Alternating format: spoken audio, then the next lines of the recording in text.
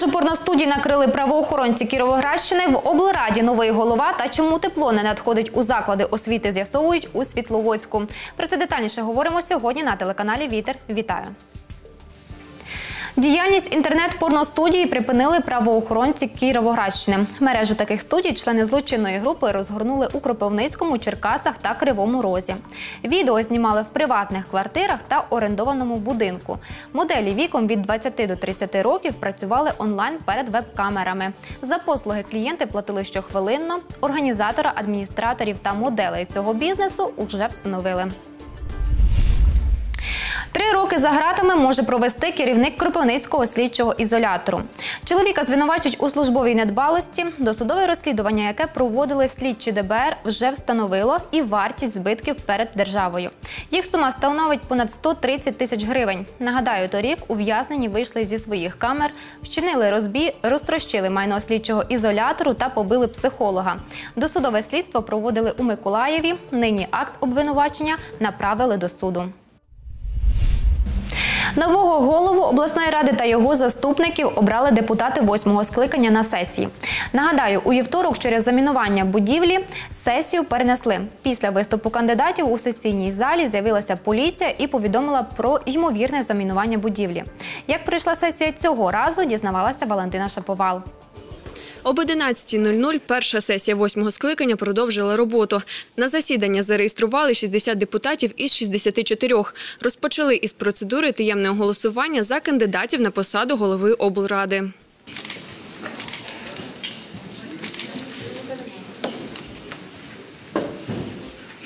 Обрали депутати поміж двох кандидатів. Це Сергій Шульга від партії Слуга народу та Олександр Чорноїваненко від партії Батьківщина, який був очільником обласної ради двох останніх скликань. З відривом у 16 голосів переміг Сергій Шульга. Хочу всіх подякувати депутатів обласної ради, тих, хто за мене проголосував, і тих, хто не проголосував. Головне завдання, що я зараз бачу, це провести аудит, е, скажімо так, комунальних підприємств і взагалі роботи обласної ради і виконкому, і також переглянути стратегію розвитку Кіровоградської області, тому що дійсно я в своїй промові визначав, що там багато формалізму. Також на сесії депутати обрали першого заступника голови обласної ради. Ним став Юрій Семенюк від партії «Пропозиція». Ще двома заступниками голови стали Вадим Волканов від опозиційної платформи «За життя» та Дмитро Лінько від радикальної партії Олега Ляшка. Я переконаний в тому, що обласна рада зможе об'єднати зусилля всіх органів місцевого самоврядування з тим, щоб добре пройшла, е, завершився процес адміністративно-територіальної реформи. Знаємо, що зараз утворилося 4 райони замість 21, який був. Є об'єднані територіальні громади, які також будуть потребувати і організаційної, і фінансової допомоги. Щоб інтереси усіх виборців були представлені у діяльності депутатів обласної ради, голова обласної організації партії Європейська Солідарність Сергій Коваленко запропонував забезпечити цю можливість фракціям, які не війшли до депутатської більшості. Європейська солідарність і переходить до опозиції і вимагає для тих фракцій, які не війшли до керівних органів обласної ради, забезпечити через діяльність депутатських комісій, оскільки це один із вид депутатської діяльності, можливість виконати ті передвиборчі програми, які були е, заявлені. Головою постійної комісії з питань бюджету депутати обрали Сергія Коваленка. Загалом в обласній раді створили вісім постійних комісій, обрали голів та їх членів. Валентина Шаповал, Сергій Баранюк, телевізійні новини СІБІН. Горіла будівля із сільськогосподарською технікою у селі Шостаківка Кропивницького району. Вогонь охопив 500 квадратних метрів покрівлі. Горіли трактор, КАМАЗ, навантажувач та мікроавтобус. Гасили пожежу 18 надзвичайників. Від вогню їм вдалося врятувати 5 тракторів. Загиблих і травмованих немає. Що спричинило пожежу, встановлюють фахівці. Більш ніж половина школярів Кропивницького навчатиметься дистанційно уже із 14 грудня. Решта дітей освіту здобуватиме офлайн або ж перебуватимуть на змішаній формі навчання. Про це повідомила начальниця міського управління освіти Лариса Костенко. Посадовиця зазначила, такі рішення приймали індивідуально по кожному навчальному закладу в залежності від підситуації. Під час локдауну усі школярі, ймовірно, будуть на канікулах. З 11 по 25 у нас 9-11 класи будуть навчатися дистанційно, тому що їм потрібно буде е, здавати державну підсумкову атестацію, зовнішнє незалежне оцінювання. Тому е, розглядаються варіанти, що з 11 по 25 для них буде дистанційне навчання. Для всіх інших дітей будуть продовжені канікули, і е, два тижні влітку ми будемо займатися е, е, цей час, який ми нам потрібно е, буде напрацювати.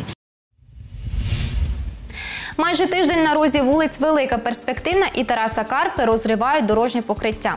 Через це в центрі міста утворюються додаткові затори, а Ленінський районний суд, судова адміністрація та кілька будинків залишилися без опалення. Чому ремонтні роботи затягуються, дізнавалася Анна Гончаренко.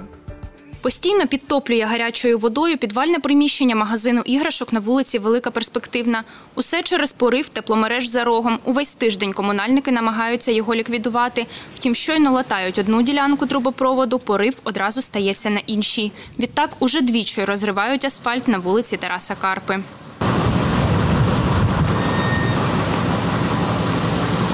Над поривом працює бригада комунальників. Кажуть, ділянка складна, адже тут перетин великої кількості комунікацій. Аби не пошкодити їх, до місця пориву копають вручну.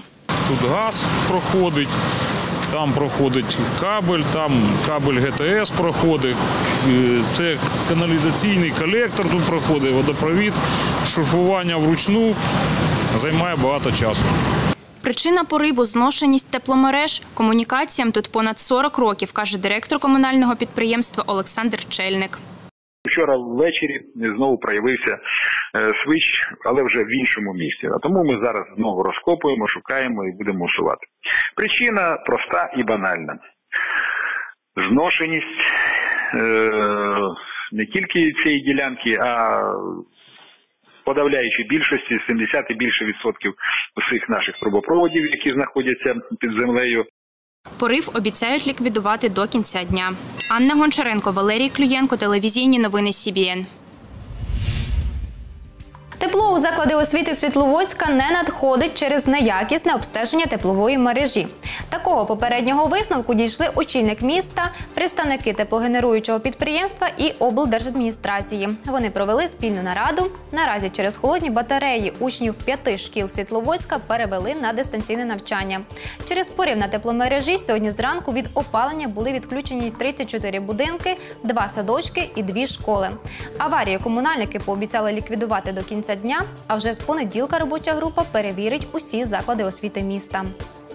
теплогенеруюча організація е, подає тепло е, в ці заклади, але е, по технологічним можливостям тепло це не проходить через системи опалення і вертається практично з той же з тим, ну будемо говорити, з тими ж показниками, які були на подачі. Тобто, це говорить про те, що і забиті батареї. І десь вони заблоковані, і десь вони е, не працюють так, як потрібно е, давати тепловіддачу. Теж е, це було записано сьогодні в протоколі. З понеділка буквально робоча група Світловодські буде обстежувати кожен навчальний заклад, кожен дитячий садочок. І ми на п'ятницю будемо мати інформацію практично по всім навчальним закладам і по всім дошкільним закладам. На сьогодні це все. Далі Валентина Шаповал розповість, якою буде погода цими вихідними. Тож не перемикайте.